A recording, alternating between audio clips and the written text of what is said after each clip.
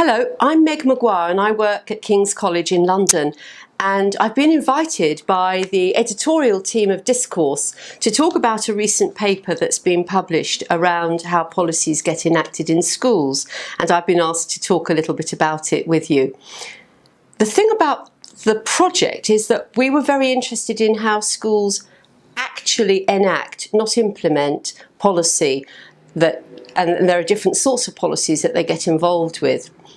So we did empirical work in four secondary schools in the English setting to try and test out some of our theories about how policies work. So our project had two intentions. One was to theorise up enactment and the other was to try and provide some empirical work for teasing out and, and pro providing a purchase on, on that those sets of theoretical assumptions.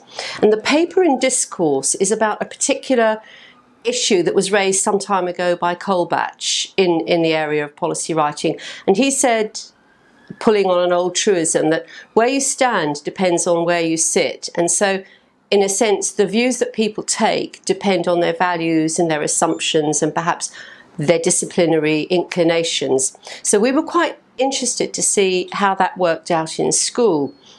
And in this paper, we take an example of the way that policy gets differently interpreted because of where people stand.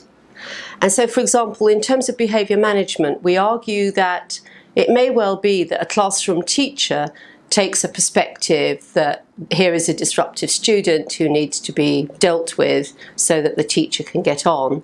And it may well be that the person who's responsible for behaviour management will be arguing, here is a student who needs to learn about how other people feel when they behave in a certain way.